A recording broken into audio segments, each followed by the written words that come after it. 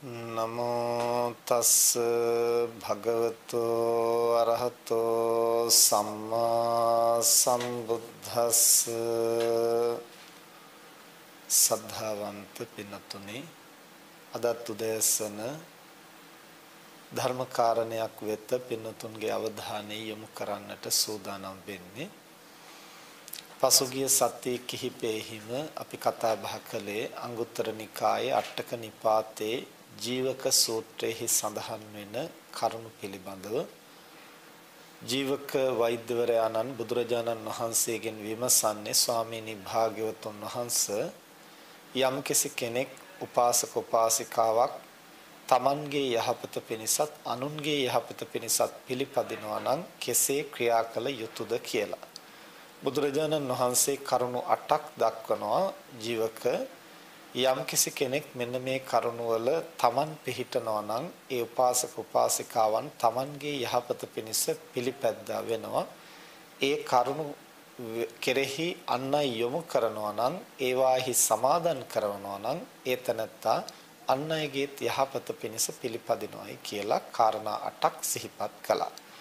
අපි ඒන් කරුණු 6ක් පසුගිය සති කිහිපෙහි සාකච්ඡා කළා. අද හත්වැනි කාරණය බුදුරජාණන් වහන්සේ දේශනා කරනවා. අත්තනාච ධතානං ධම්මානං අත්තූප පරික්ඛේ හෝති පරංච අත්තූප පරික්ඛාය සමාදපේති. ජීවක යම්කිසි කෙනෙක් අපි පසුගිය දිනවල කතා බහ කළා ධර්මයේ අස් භික්ෂුන් වහන්සේලා ඇසුරු කරන්නට කැමති වෙනවා. ඒ වගේම ධර්මයේ අසනවා. ඇසු ධර්මයේ ධාරණය කරගන්නවා. දැන් මේ හත්වෙනි කාරණේ හැටියට බුදුරජාණන් වහන්සේ දේශනා කරනවා ඒ දරාගත් ධර්මය නැවත නැවත අර්ථ පරීක්ෂා කිරීමෙහි යෙදෙනවා. තමනුත් අර්ථ පරීක්ෂා කිරීමෙහි යෙදෙනවා අන් අයත් ඒවාෙහි අර්ථ පරීක්ෂා කිරීමෙහි යොදවනවා. එසේ ක්‍රියාත්මක වෙන තැනැත්තා තමන්ගේත් අනුන්ගේත් යහපත පිණිස ක්‍රියාත්මක වෙනවයි කියලා. එතකොට යම්කිසි කාරණයක් අපි අහලා දැනගෙන ඒක මතක තබාගෙන පමණක් සිටීම ප්‍රමාණවත් නැහැ. ඒ මතක තබාගත් ධාරණය කරගත් කරුණවල අර්ථය පරීක්ෂා කිරීම විටින් විට කළ යුතුය. නැවත නැවත කළ යුතුය. එහෙම නිවැරදිව අර්ථ පරීක්ෂා කරලා හඳුනාගත්තු වටහාගත්තු කාරණයක් තමයි අපට ඵලදායක විදිහට භාවිතා කරන්නට පුළුවන් වෙන්නේ. දැන් මේ කාරණේ ඊටාම වැදගත් වෙනවා ධර්මයේ පිළිබඳව.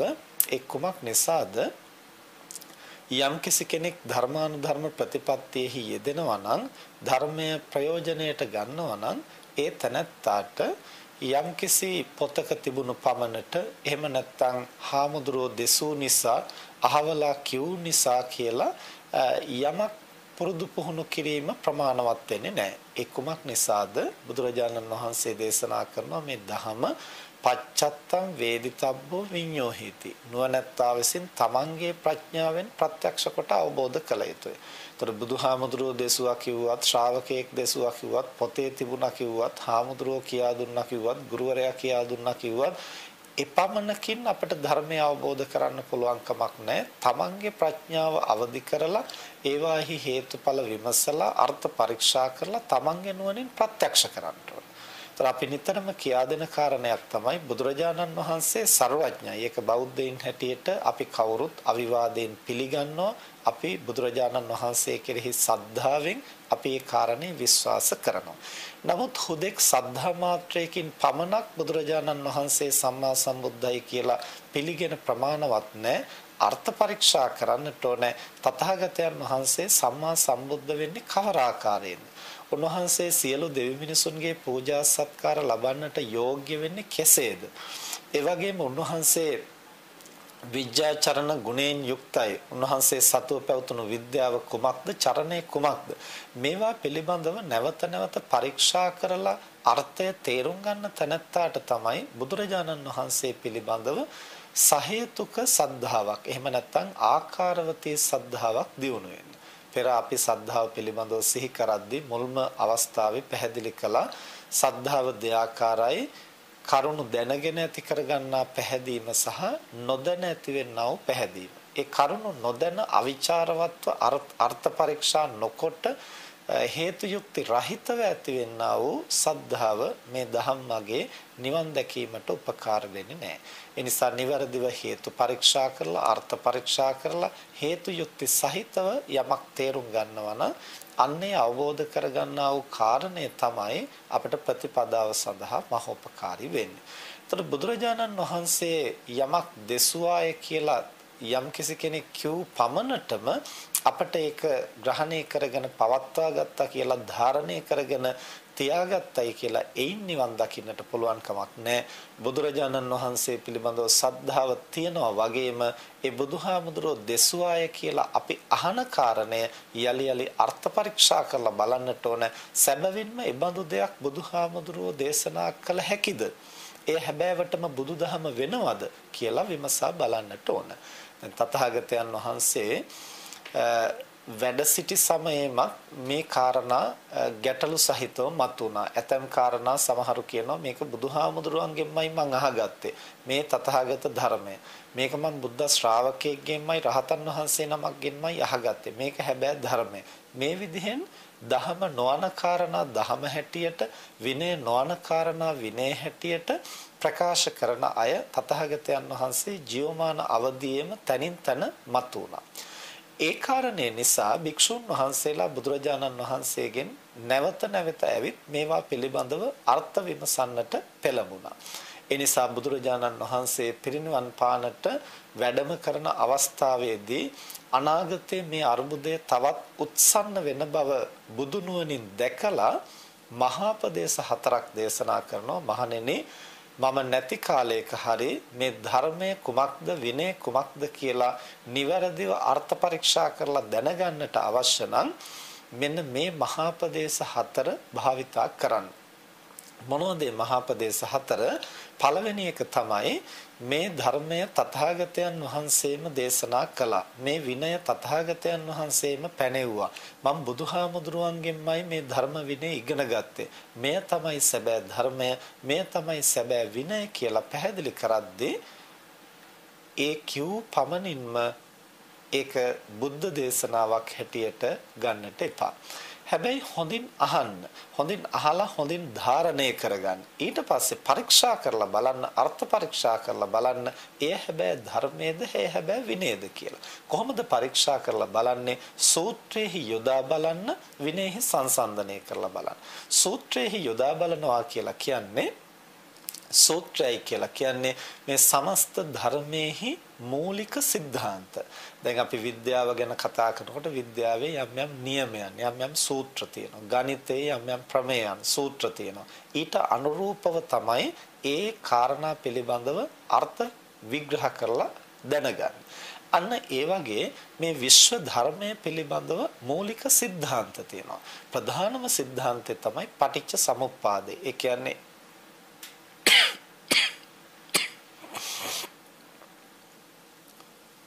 ඒ කියන්නේ හේතු ප්‍රත්‍යයන්ගෙන් දේවල් හට ගන්නවා කියන බව. යහපත උනත් අයහපත උනත් හැම දෙයක්ම ගොඩනගෙන්නේ හේතු ප්‍රත්‍යයන්ගෙන් ඇතිව.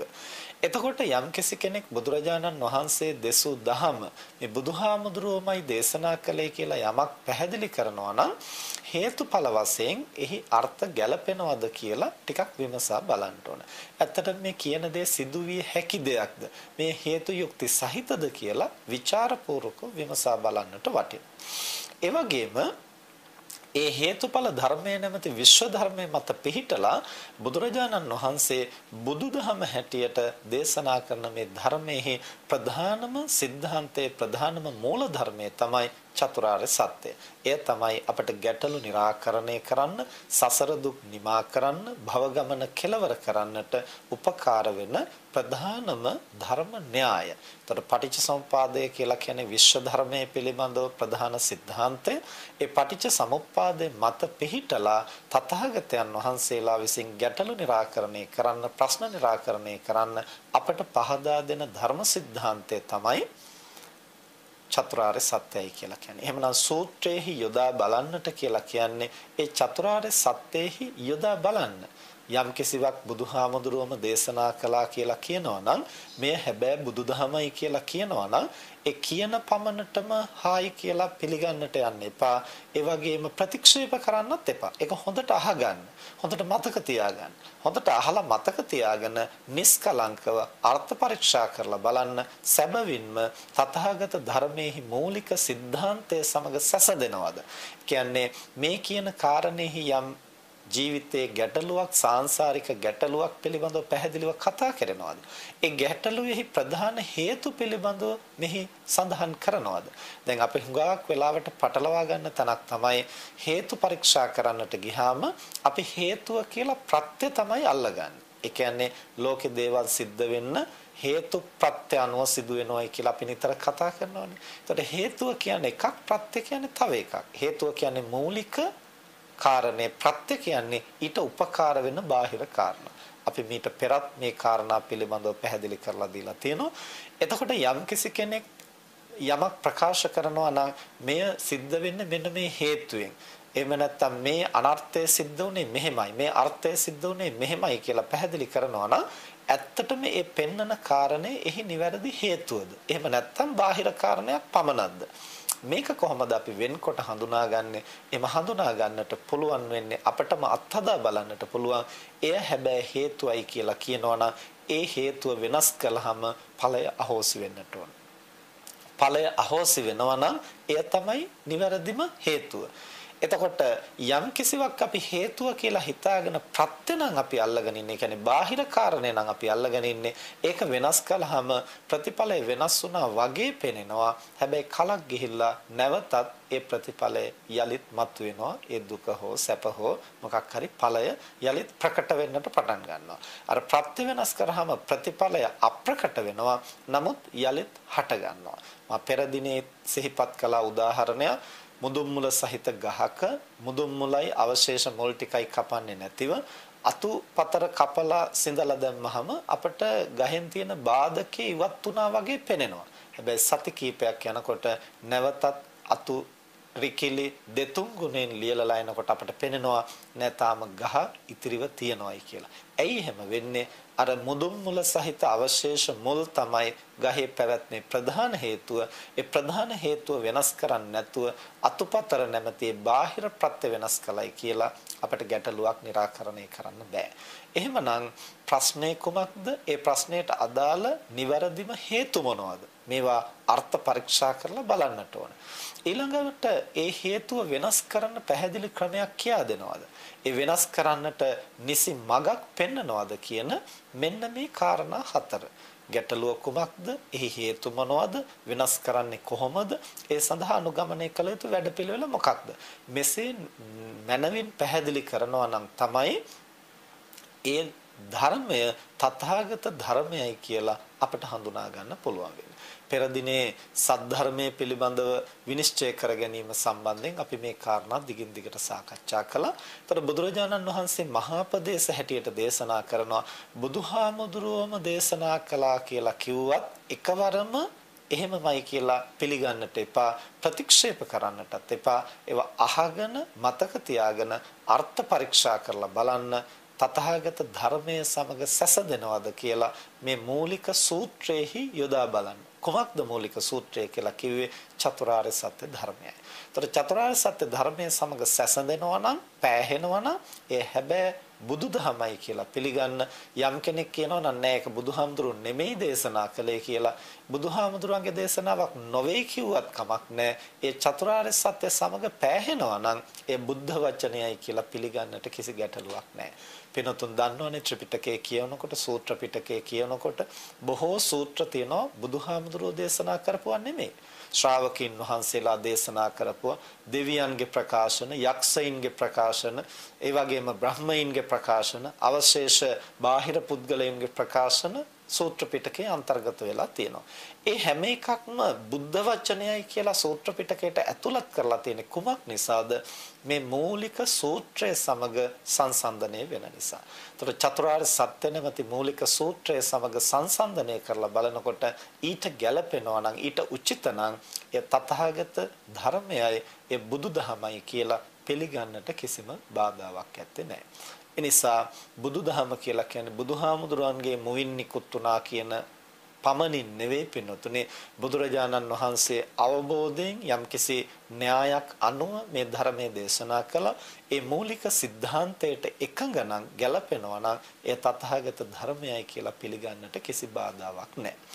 ඊළඟට යම්කිසි කෙනෙක් කියනවා මේක තමයි තථාගත විනය. බුදුහාමුදුරුවන්ගෙන්මයි මං අහගත්තේ. මේක බුදුහාමුදුරුවමයි පැනෙව්වේ. බුදුහාමුදුරුව ළඟින්ම මම විමසගෙන ආවේ. නිසා සැක කරන්නට දෙයක් නැහැ මේක පිළිගන්න. මේක තමයි හැබැයි බුද්ධ විනය කියලා කියනවා නම් බුදුහාමුදුරෝ දේශනා කරනවා. එහෙම කිව්වත් පිළිගන්නට එපා. හැබැයි ප්‍රතික්ෂේප කරන්නත් එපා. හොඳට අහගන්න ධාරණය කරගන්න ඊළඟට අර්ථ පරීක්ෂා කරලා බලන්න කොහොමද විනයෙහි සංසන්දනය වෙනවද? මේ කියන කාරණය බුදුරජාණන් වහන්සේ දෙසූ විනය ප්‍රඥප්ති වලට අනුකූලද කියලා විනය පිළිබඳ මූලික સિદ્ધාන්තයන් සමග ගලපා බලන්න. මොකක්ද විනය පිළිබඳ මූලික સિદ્ધාන්තයන් කියලා කියන්නේ? දැන් භික්ෂුන් වහන්සේලාට විනය ප්‍රඥප්ති 220ක් පනවලා තියෙනවා. අධිකරණ සමත කියලා හතක් තියෙනවා. ඒ හතත් එක 227ක් තියෙනවා. එතකොට දැන් මේ එකින් එක මේ 227ත් එක්කම ගලපනවා කියන එක නෙමෙයි. මේ සියලු විනය ප්‍රඥප්ති පැනෙව්වත් නොපැනෙව්වත් ඒ කියන්නේ මුල් අවුරුදු 20 බුදුහාමුදුරු ශික්ෂාපද පනවලා තිබුණ නැහනේ. එතකොට ශික්ෂාපද තිබුණ නැත්නම් විනයක් තිබුණ නැද්ද? නෑ විනය තිබුණා. ශික්ෂාපදයි නොතිබුණේ. එහෙනම් විනය කියන්නේ මේ ශික්ෂාපද පමණක් නෙමෙයි පින්නතුනේ. විනයයි කියලා කියන්නේ රාග විනය, දෝෂ විනය, මෝහ විනය. රාගය විනය කියලා කියන වචනේ තේරුම ප්‍රහාණය කිරීම හෝ සංවර කිරීම. එතකොට රාගය ප්‍රහාණය කරන්නට හෝ සංවර කරන්නට, ද්වේෂය ප්‍රහාණය කරන්නට හෝ සංවර කරලා අවම කරන්නට, මෝහය ප්‍රහාණය කරන්නට හෝ සංවර කිරීමෙන් අවම කරන්නට යම් ප්‍රතිපදාවක් පනවලා තියද එය තමයි විනය කියලා කියන්නේ. එතකොට ඒකට කියන්නේ පරාජිකාද, සංඝාදිශේෂද, පංචශීලයේද මේ කවර වචනයකින් හැදෙන්නවත් කමක් නැහැ. ඒ මූලික સિદ્ધාන්තයට අනුගත නම් ඒ තථාගත විනයයි කියලා පිළිගන්නට පුළුවන්. ඒ මූලික સિદ્ધාන්තයට අනුගත නැතිනම් ඒ කියන්නේ යමක් බුදුරජාණන් වහන්සේ පැනෙව්වයි කියලා කියනවා ඒක බුද්ධ ප්‍රඥප්තියයි මම බුදුහාමුදුරුවන්ගෙන්ම තමයි මේක අහගත්තේ කියලා යම්කිසි කෙනෙක් කියනවා. හැබැයි එහෙම කිව්වා උනාට ඒ ධර්මතාවය ප්‍රගුණ කිරීමෙන් රාගය ප්‍රහාණය වීම හෝ අවම වීම නෙමෙයි රාගය උත්සන්න වීම නම් වෙන්නේ.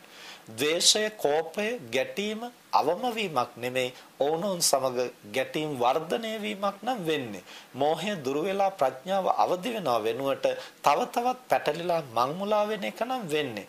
ඒක බුද්ධ ප්‍රඥප්තියක් බුද්ධ විනයයි කියලා පිළිගන්නට පුළුවන් කමක් නැහැ. මම බුදුහාමුදුරුවන්ගෙන්මයි මේක අහගත්තේ කියලා කිව්වා වුණත් හොඳට අර්ථ පරීක්ෂා කරලා බලන්න කොතනක හරි පටලවාගෙන වරද්දාගෙන තියෙන්නට පුළුවන්. අහවල් පොතේමයි මේක තිබුණේ මේක විනය පිටකේමයි තිබුණේ මේක මහතෙරුන් වහන්සේලාගෙන්මයි අහගත් මේ කවර ආකාරයෙන් ප්‍රකාශ කළත් එකවරම ගන්නට එපා ඒ තථාගත විනයට නිවැරදිව ගැලපෙනවද කියලා තෝරලා පරීක්ෂා කරලා බලන්න. එතකොට ඒ වගේම තමයි යම් කෙනෙක් කියනවා නම් ඒක බුදුහාමුදුරුවෝ පැනෙන්නේ නැහැ. බුද්ධ විනයෙහි ඔහොම දෙයක් නැහැ. තථාගතයන් වහන්සේ ජීවමාන කාලේ එහෙම ප්‍රඥප්තියක් පනවලා නැහැ කියලා යම් දේවල් ප්‍රතික්ෂේප කරනවා නම් සැහැල්ලුවෙන් හිතනවා නම් ඒ පමණටම අපි ඉක්මන් වෙන්නට හොඳ නැහැ බුදුහාමුදුරුව පැනෙන්නේ නැති වුණත් එය තථාගත විනයට අනුකූල නම් ඒ බුද්ධ විනය හැටියට පිළිගන්නට වටිනවා කියන බව බුදුරජාණන් වහන්සේ දේශනා කරනවා. එතකොට බුදුහාමුදුරුව දේශනා කළා කිව්වත් එය විනයට අනුකූල නැතිනම් බැහැර කරන්නට පුළුවන් බුදුහාමුදුරුව පැනෙන්නේ නැහැ කියලා කිව්වත් ඒ විනයට අනුකූල නම් අපට පිළිගන්නට සිද්ධ වෙනවා. දැන් වගේ පසුගිය කාලවකවානේ ප්‍රබලව මතුවෙච්ච අර්බුදයක් තමයි භික්ෂුන් වහන්සේලාට රියදුරු බලපත්‍ර ලැබිය යුතුයි ඒ සඳහා තහනම් කරන්නට පුළුවන් කමක් නැහැ. එහෙම තහනම් කිරීමක් බුදුහාමුදුරුව කොතනකවත් කරලා නැහැ. බුද්ධ විනයෙහි තථාගත විනයෙහි එහෙම නැත්නම් භික්ෂුන් වහන්සේලාට පනවලා තියෙන විනය ප්‍රඥප්තිවල භික්ෂුන් වහන්සේලාට රියදුරු බලපත්‍ර නොදිය යුතුයි කියලා ප්‍රඥප්තියක් නැහැ. එහෙමනම් භික්ෂුන් වහන්සේලාට රියදුරු බලපත්‍ර දීමේ කිසි වරදක් නැහැ කියලා මහා ආందోලනයක් පහුගිය කාලේ මතුවුණා පින්නතුන්ට මතක ඇතිනේ. එතකොට ඇත්තටම ඒ පනවලා තියෙන භික්ෂුන් වහන්සේලාට පනවලා තියෙන විනය ප්‍රඥප්ති 227 කොතනකවත් රියදුරු බලපත්‍ර ගැනීම තහනම් කියලා ඒකෙන් මේ ඇවත වෙනවා කියලා එහෙම පනවලා නැහැ. නමුත් ඒ විනය පිටකේ නොපනවපු පමණටම බුද්ධ විනය ප්‍රඥප්තියක් හැටියට දේශනා නොකල පමණටම ඒක ගැටලුවක් නැහැ කියලා අපිට හිතන්නට පුළුවන්ද? අන්න එතෙන්දි තමයි තථාගත විනය සමග අපි සංසන්දනය කරලා බැලිය යුත්තේ. භික්ෂුන් වහන්සේගේ හැසිරීම් රටාවත් එක්ක. ඒතකොට මේකට තර්ක විතර්ක කරන්න පුළුවන් වෙනත් රටවල ඕන තරම් රියදුරු බලපත්‍ර අරගෙන රිය පදවන. ତර අනෙක් රටවල ඒක බාධාවක් නොවෙන්න පුළුවන්. නමුත් ලංකාවේ සංස්කෘතියත් එක්ක තවමත් බෞද්ධ භික්ෂුන් වහන්සේලා කෙරෙහි මහජනතාවගේ තියෙන ගෞරවයේ ප්‍රසාදයට එක්කලා මේ තුල අර්බුද මතුවෙන අවස්ථා, ගැටලු මතුවෙන අවස්ථා ටිකක් නුවණින් කල්පනා කරලා බලලා ඒ පිළිබඳව තීරණ ගත යුතු වෙන්නේ. එහෙම නැතුව බුදුහාමුදුරුවෝ එහෙම විනය ප්‍රඥප්තියක් පනවලා නැහැ. ඒ නිසා කිසි ගැටලුවක් නැහැ, විනයෙන් බාධාවක් නැහැ, රියදුරු බලපත්‍ර දිය යුතුයි කියලා උද්ඝෝෂණ කරන්නට කලින් ටිකක් පරීක්ෂා කරලා බලන්න ඕනේ. බුදුහාමුදුරුවෝ කවර පදනමක් මතද විනය ප්‍රඥප්ති පනවලා තියෙන්නේ. රාග ద్వේෂ මෝහ ප්‍රහාණය කිරීම සඳහා විශේෂයෙන්ම විනය ප්‍රඥප්ති පනවන හැම තැනකම බුදුහාමුදුරුව අවධාරණය කරලා තියෙන දෙයක් තමයි නොපැහැදුණවුන්ගේ පැහැදීමත් පැහැදුණවුන්ගේ වැඩි පැහැදීමත් ඇති කරන්නට මෙසේ සංවර විය යුතුයි.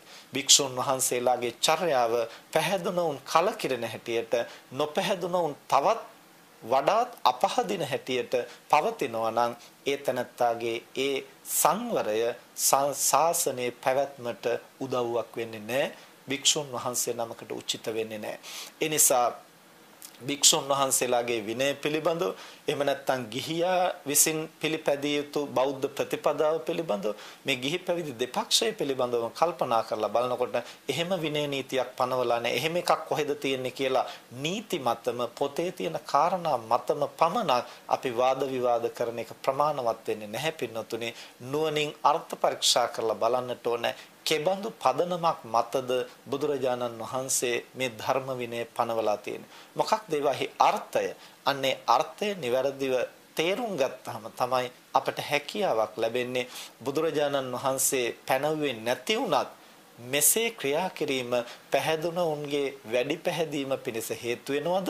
ඒ වගේම නොපැහැදුන උන් පහදින්නට හේතු වෙනවද? දැන් මේකෙන් අදහස් කරන්නේ පින්නතුනි වංචනික විදිහට බොරුවට මහජනයා ඉදිරියේ රඟපාලා බොරු සිල් පෙන්නලා බොරු විනයක් පෙන්නලා අනේකාගේ ප්‍රසාදේ දිනා ගන්නට ඕන කියන එක නෙමෙයි. එහෙම වංචනික ප්‍රතිපදාවක් කුහක ප්‍රතිපදාවක් නෙමෙයි බුදුහාමුදුරෝ දේශනා කරන්නේ. ඒ තමන්ගේ චර්යා රටාව තුළ අවංක භාවයේ තියෙන්නටත් ඕන, හෘද සාක්ෂියට එකඟ වෙන්නටත් ඕන. ඒ අවංක භාවයෙන් කටයුතු කරනවා වගේම මහජනයාට ප්‍රසාදනීය වෙන්නටත් ඕන. දැන් තමන් අවංක වුණා වුණා කියලා මහජනයා කලකිරීමටපත් වෙනවා නම් ඒ ප්‍රතිපදාව තරම් උචිත ප්‍රතිපදාවක් වෙන්නේ නැහැ. දැන් අපි හිතමු භික්ෂුන් වහන්සේට රියදුරු බලපත්‍ර ලැබීම සඳහා විනය ප්‍රඥප්තියෙන් තහනමක් කරලා නැහැයි කියලා භික්ෂුන් වහන්සේ නමක් ඒ විදිහට රියදුරු බලපත්‍රයක් අරගෙන හෝ නැතුව හෝ වාහනයක් පදවාගෙන ගිහිල්ලා යම් ගැටලුවක් මතු වුණොත් Taman ඒක අවංකව කලා වෙන්නට පුළුවන්. හදිසියේ රෝගියෙක් රෝහලට ගෙනියන්නට රිය පදවාගෙන ගියා වෙන්නට පුළුවන්. ඒතර රිය පදවීම පිළිබඳව විනයෙන් ගැටලුවකුත් නැහැ. රෝගියා රෝහලට ගෙන යාම කියන එක බොහොම අවංකව සත්භාවයෙන් කරපු වැඩක්. නමුත් එහෙම කරන්නට ගිහිල්ලා යම් ගැටලුවක් මතු වුණොත් ඒ කාරණය නිසා සමස්ත භික්ෂු සංස්ථාවටම යම් ගැටලු මතුවෙන්නට අප්‍රසාදයට ලක් වෙන්නට පුළුවන් පැහැදුණුන්ගේ පැහැදීම නැති වෙන්නට පුළුවන් අපැහැදුණුන් චෝදනා කරන්න බලා ඉන්න අයට චෝදනා කරන්නට ප්‍රස්තාවක් එළඹෙන්නට පුළුවන්. එනිසා භික්ෂුන් වහන්සේ නමක් හෝ ගිහියෙක් හෝ මේ බෞද්ධ ප්‍රතිපදාව තුළ අවංකව කටයුතු කිරීමත් අවශ්‍යයි. හැබැයි Taman අවංක වුණා කියලා විතරක් ප්‍රමාණවත් නෑ. එය දකින්නවුන් කෙසේ දකින්නවාද? ගන්නවුන් කෙසේ ගන්නවාද? මෙසේ අර්ථ පරීක්ෂා කරලා බැලිය යුතු වෙනවා. Tamanගේ හෘද සාක්ෂියටත් එකඟ වෙන්නට ඕන ඥානවන්තෝ මේ පිළිබඳව උපවාද නගනවාද නිග්‍රහ කරනවාද කියලා සැලකිලිමත් වෙන්න ඕන.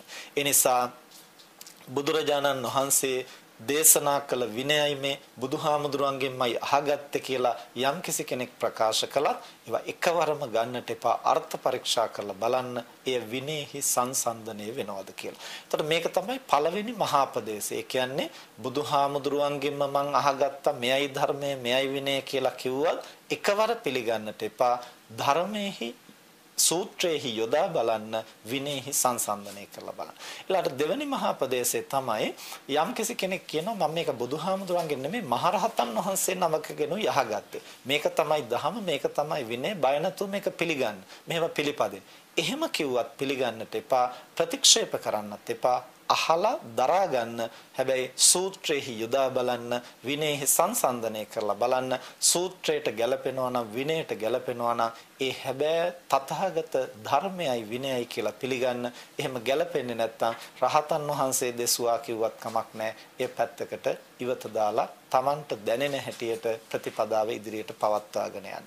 ඊළඟට තුන්වෙනි මහා ප්‍රදේශය තමයි යම්කිසි කෙනෙක් කියනවා මම මේක ධර්මදර විනයදර මහතෙරුන් වහන්සේලා සමූහයකගෙනුයි අහගත්තේ. උන්වහන්සේලා ඒකමතිකව මේක තීරණය කළා. උන්වහන්සේලා ධර්මදරයි, උන්වහන්සේලා විනයදරයි. ඒ නිසා මෙය තමයි හැබැයි ධහම, මෙය තමයි හැබැයි විනය කියලා යම්කිසි කෙනෙක් යමක් දේශනා කරනවා නම් එකවර පිළිගන්නට එපා, ප්‍රතික්ෂේප කරන්නත් එපා. එය අහලා දරා ගන්න. හැබැයි සූත්‍රයේහි යොදා බලන්න විනයෙහි සංසන්දනය කරලා බලන්න ගැළපෙනවා නම් ගන්න නොගැළපෙනවා නම් බැහැර කරලා ඉවතට වීසි කරන්න. ඊළඟ හතරවෙනි මහා ප්‍රදේශය තමයි මම මේක එක්තරා ධර්මදර විනයදර මහතෙරුන් වහන්සේ නමකගෙනුයි අහගත්තේ කියලා කියනවා. එහෙම කියන තැනදීත් ඒ එකවරම ගන්නට එපා ප්‍රතික්ෂේප කරන්නත් එපා. සූත්‍රයේහි යොදා බලන්න විනයෙහි සංසන්දනය කරලා බලන්න ගැළපෙනවා නම් පමණක් එය ධර්ම විනය හැටියට පිළිගන්නට කියලා බුදුහාමුදුරෝ දේශනා කරනවා. දැන් එතකොට මේ මහා ප්‍රදේශ හතර හැටියට දේශනා කරන්නේ බුද්ධාපදේශ ඒ වගේම ශාවක අපදේශ සම්බහුලත් තේරාපදේශ ඒක තේරාපදේශ කියලා මෙහෙම හතරක් දේශනා කරනවා බුදුහාමුදුරුවන්ගෙන්ම අහගත්තා කියලා යමෙක් මේ ධර්මයයි විනයයි කියලා පැහැදිලි කරනවා ඊළඟට මම රහතන් වහන්සේ නමකගෙන් මේ අහගත්තයි කියලා මෙයයි ධර්මයේ විනය කියලා පැහැදිලි කරනවා මම ධර්ම විනයදර මහතෙරුන් වහන්සේලා සමූහයකගේ ඒකමතිකත්වයෙන් මේ අහගත්තා මෙයයි ධම විනය කියලා පැහැදිලි කරනවා. තව කෙනෙක් කියනවා මම එක්තරා ධර්ම විනයදර මහතෙරුන් වහන්සේ නමකින් අහගත්තා කියලා. මේ සතර ආකාරයෙන් කවර ආකාරයකින් කෙනෙක් කිව්වත් මේක ත්‍රිපිටකයේමයි තිබුණේ මේක අහවල් පොතේමයි තිබුණේ කියලා මේ කවර ආකාරයෙන් විස්තර කළත් ඒ කියන පමණටම එයමයි ධර්මයේ එයමයි විනය කියලා දරාගෙන ප්‍රගුණ කිරීම බෞද්ධ උපාසක උපාසිකාවකටවත් භික්ෂුවකටවත් උචිත වෙන්නේ නැහැ. එය සූත්‍රයේහි යොදා බලන්න, විනයෙහි සංසන්දනය කරලා බලන්න, නැවත නැවත ඒ දේශනාවන්හි අර්ථ පරීක්ෂා කරලා බලන්න. හුදෙක් ගුරු ගෞරවය නිසා හෝ පොතේ තිබුණයි කිව්ව නිසා හෝ බුද්ධ ගෞරවය නිසා හෝ ධර්ම ගෞරවය නිසා හෝ විනය ගෞරවය නිසා හෝ එක්වරම අරගෙන ඒවා අවිචාරවත්ව පරිහරණය කරන්නේ නැතිව ධර්මානුධර්ම ප්‍රතිපත්තියේ ස්වඥානය අවදි කරන්නට නම් තමන්ගේ ප්‍රඥාවෙන් ධහම දකින්නට නම් යලි යලි අර්ථ පරීක්ෂා කරලා මේ ධර්මානුධර්ම ප්‍රතිපත්තියෙහි යෙදිය යුතුයි කියන බව බුදුහාමුදුරෝ දේශනා කරනවා. එසේ අර්ථ පරීක්ෂා කරමින් ධහමෙහි විනෙහි යෙදීම උපාසක උපාසිකාවක් තමන්ගේ යහපත පිණිස පිළිපැදීම වෙනවා. අන් අයත් ඒ සඳහා උනන්දු කරනවා නම් අන් අයගේ යහපත පිණිසත් පිළිපැද්දා වෙනවා. මේ හත්වැනි කාරණයයි කියලා බුදුරජාණන් වහන්සේ එදා ජීවක වෛද්‍යවරයන්ට පැහැදිලි කරනවා. මේ කරුණු සිහියේ පවත්වාගෙන සිහිනුවණින් අර්ථ පරීක්ෂා කරලා ධර්ම විනය හදාරන්නට හැම දිනාටම ප්‍රඥාව පහළ වේවා කියලා අපි ආශිර්වාද කරනවා. හැම දිනාටම තෙරුවන් සරණයි.